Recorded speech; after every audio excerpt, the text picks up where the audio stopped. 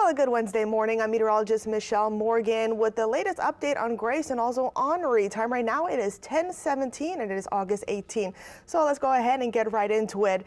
Uh, both of these systems have become better well defined here, especially Grace, which is now a hurricane.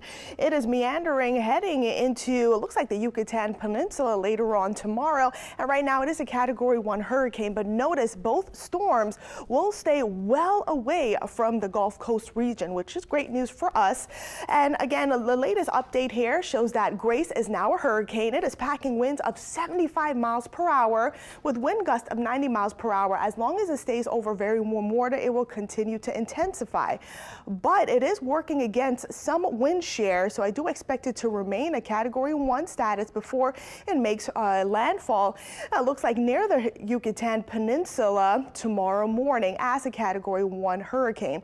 It is moving west northwest at 15 miles per hour and notice the official National Hurricane Center forecast makes it looks like two landfalls. The first one will be the Yucatan Peninsula and the second one will be south of Tampico as we head into Friday evening. So the good news is is that it will stay away from the Gulf Coast region. And it's all thanks to this huge area of high pressure that's helping to steer this thing. So it will stay well south of our region, again, as a category one storm before making landfall tomorrow morning.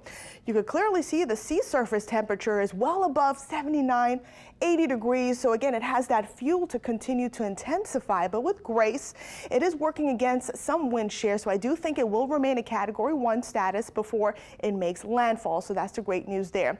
A quick update on now tropical storm Henri. It is in uh, located a few hundred miles southwest of Bermuda, and it's trying to get its act together. Even though water is, the warm water is there, it is also working against some wind shear. So it is moving west at 8 miles per hour, so it is moving slowly, but you can see that counterclockwise spin there. It is trying to get its act together.